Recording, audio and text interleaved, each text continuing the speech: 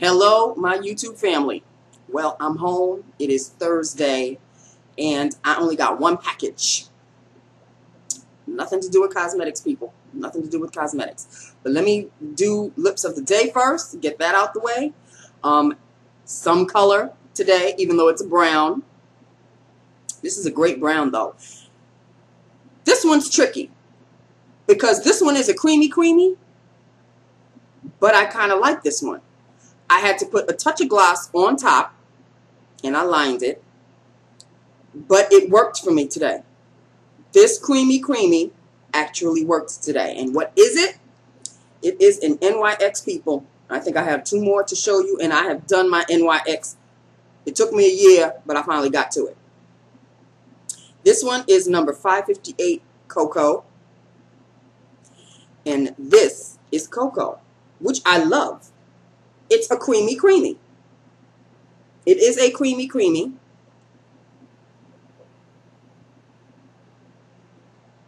Creamy creamy. Cocoa. But this one didn't bother me, especially when I put my beautiful MAC lip glass on top. As you can see, um, yeah, I've been using this a lot for many, many, many years many, many years. So, yeah. So, this was on top of this. Made it a little bit more shiny. And I just had to, because you know this. Oh, we are talking super sticky, super glossy, super shiny. I'm talking serious on the street corner hooker.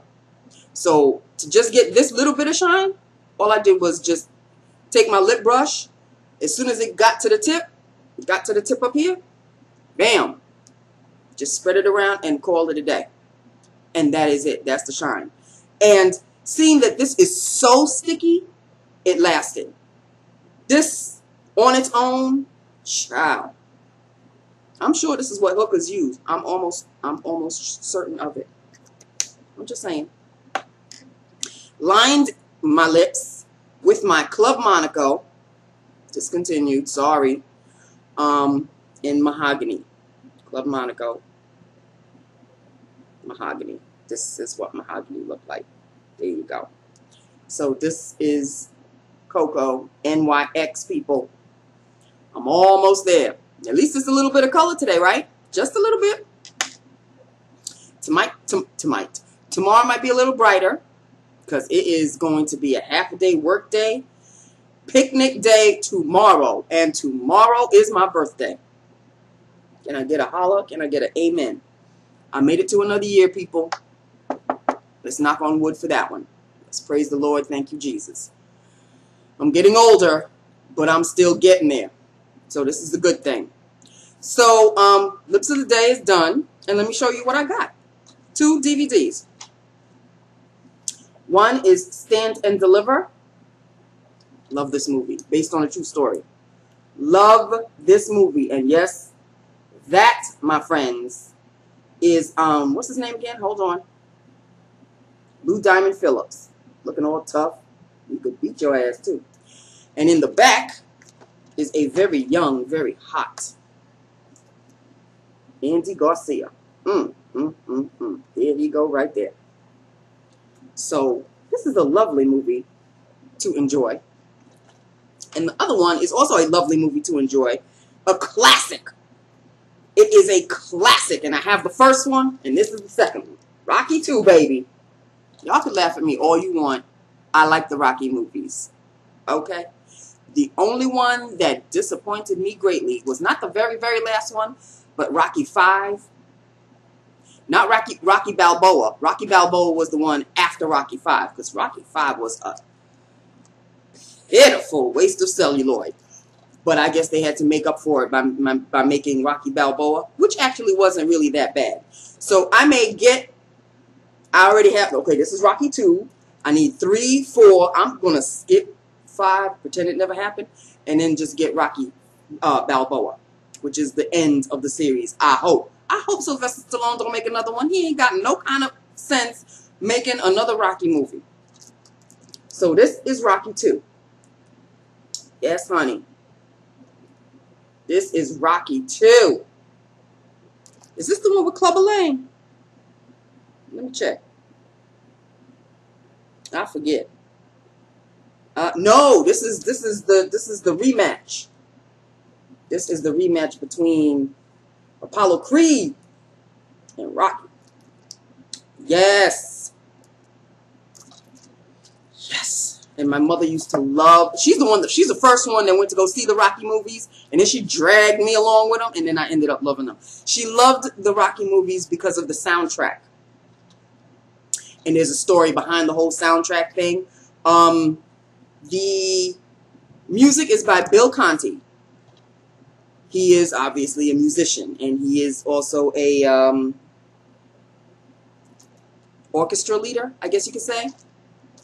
Anyway, his music background is the classics, like Bach, Chopin, um, Beethoven, you know, all of those. Mainly Bach, though. He's a he's a big Bach fan, and he's a big Bach fan so much so that there's touches of Bach sounds in the Rocky soundtrack. So if you if you're good with classical music, you'll hear the notes. You'll hear the you'll hear the the, the, the classical music notes. And I got so enthralled with it after, you know, mom saw it and then she said, you gotta see this movie just for the soundtrack. I know nothing about, well, at the time, I know a lot, a little bit more about music now. But at the time, I mean, when these movies came out, I was like, you know, 10, 11. So she dragged me to the movies and she really loved these movies. And after she saw the first one, she saw the first one by herself, I think. Mom and Pop never were much for date night. But she went to go see it by herself. And um, she came back and she, I mean, she was lit up. So she said, this is a really great movie. You've got to go see this movie. This movie's fantastic. Oh, you've got to go see this movie. So I'm like, yeah, okay. So she just kept saying the soundtrack is fantastic. The soundtrack is fantastic. I love the music in the. In. So I think I think if I'm not mistaken, I think I actually got her the Rocky. I got her Rocky one and Rocky two soundtrack. I think I basically got her Rocky two because Rocky two was pumped up a little bit more. So um, I got her the soundtrack, the the album at the time. It was a big vinyl album, people. I know some of y'all don't even know what the hell I'm talking about. But it was a big vinyl album. And uh, she was really thrilled about that. She used to play it all the time. And then I used to play it. And I used to listen to it. And then I would hear what she was talking about. And I'm like, oh, okay, the little the little orchestration in the background. Okay, that's the little Bach's sounding. Okay. So now, you know, she's since gone, and I've become my mother. They always say you do eventually become your mom. Um, and now, when I watch the Rocky movies, I do get a little teary. I'm getting a little choked up right now just talking about it. Because I listen to the music and I remember so I guess you could say this is an homage to mom, but I really love these movies. I wound up loving them myself. Not because she loved them, but I wound up loving them myself. So I think after Rocky 2, after she dragged me to Rocky 1, I think I was like, I got excited and I said, oh, I can't wait until Rocky 2. And then from then on, we saw them together. So um, I've got Rocky 1 now. And this is my Rocky 2. So that's my little story for you, my little ditty. That's basically it in a nutshell, people. Nothing else came, nothing exciting, no other packages, just just those two videos. And I, I'm, you know, my DVD collection is growing immensely. There were two other videos, DVDs. I keep calling them videos. Two other DVDs that came last week, but this was prior to my birthday hauls, and it was Face Off and Toy Story.